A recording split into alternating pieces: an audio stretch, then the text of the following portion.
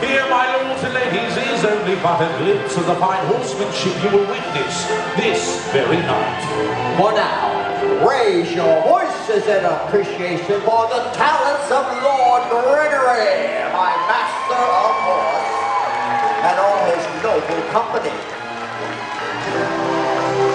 Skillfully done, as always, my good lord.